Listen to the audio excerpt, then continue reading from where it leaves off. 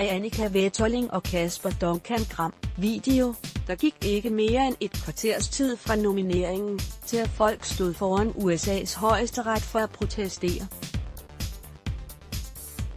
USA's præsident Donald Trump nominerede i nat dansk tid den konservative Brett Kavanaugh til den ledige plads som højesteretsdommer.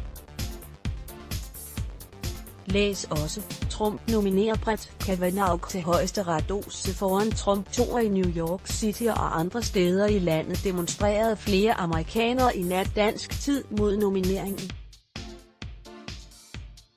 De frygter, at valget af Brett Kavanaugh i sidste ende kan være med til at højre dreje USA's retspraktisk og true den frie abort. Han har tidligere kritiseret USA's abortlove og har også taget afstand til sundhedsforsikringen Obamacare. Den amerikanske højesteret Højesteret er det højeste juridiske organ i USA og leder af det føderale system. Derfor har domstolen også bemyndigelse til at tolke og afgøre spørgsmål om USA's føderale love heriblandt forfatningen. Dermed kan domstolen underkende lovgivning fra kongressen og fra enkeltstaterne, hvis de vurderes at være i strid med forfatningen, både på opfordring eller på eget initiativ. Dommerne sidder til de vælger at gå af eller dør.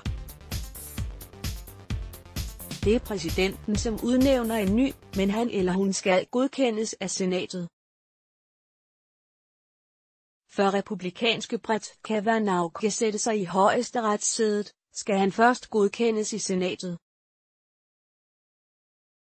Men hvis han bliver godkendt af senatet, vil konservative dommere udgøre et flertal i højesteretten, og det kan skubbe fremtidige afgørelser længere mod højre.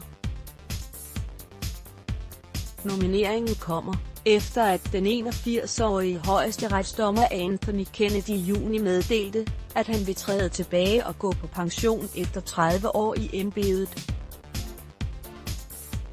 Læs også, amerikansk højesteretsdommer trækker sig tilbage Anthony Kennedy var kendt som en svingstemme i USA's ypperste domstol, fordi han skiftevis har stemt sammen med de liberale dommere og de konservative. Han har længe defineret højesterets afgørelser, og på samme måde vil Brett Kavanaugh kunne få stor indflydelse. Udfordrer den frie abort Brett Kavanaugh udfordrer mange stærke demokratiske mærkesager. En af dem er den frie abort. For selvom man aldrig har taget direkte afstand til kvinders ret til fri abort, har han tidligere kritiseret USA's abortlov. Donald Trump har også før sagt, at retten til abort automatisk vil blive ophævet, hvis man udpeger to eller tre højesteretsdommere, der er imod abort. Under pressemødet, hvor Donald Trump nominerede den konservative dommerkandidat, understregede Brett Kavanaugh, at en dommers opgave er at fortolke loven, ikke lave den. Læs også, ekspert, ny højesteretsdommer kan blive Trumps længstvarende af demonstranter vil stoppe Kavanaugh i senatet har republikanerne kun et snævert flertal. Dermed kan de moderate republikaners stemme blive afgørende under den kommende afstemning om den nominerede Brett Kavanaugh. Derfor appellerede den tidligere demokratiske præsidentkandidat Bernie Sanders også til at få stoppet godkendelsen af Brett Kavanaugh, er klar til kamp. Det her er en hård kamp, men det er en kamp, vi kan vinde. Vi har det amerikanske folk på vores side.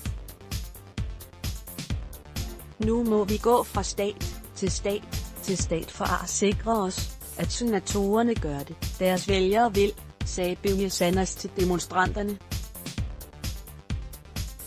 Den tidligere præsidentkandidat arrangerede demonstrationen foran højesteretten i Washington. Foran Trump 2 i New York City blokerede protesterne for trafikken, og ifølge New York Post blev syv personer anholdt i den forbindelse. Bernie Sanders ledte demonstrationen foran højesteretten i Washington.